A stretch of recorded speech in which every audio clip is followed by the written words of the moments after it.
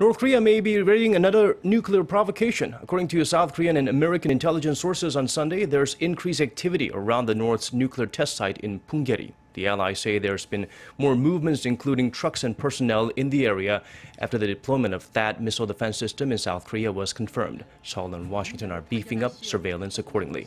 U.S.-based website 38 North, which monitors the communist state, report, reported rather similar findings early last week, but did not receive much attention from the South at the time, as the nation's policymakers believe the North could detonate another nuclear device whenever its leader Kim Jong un gives the order.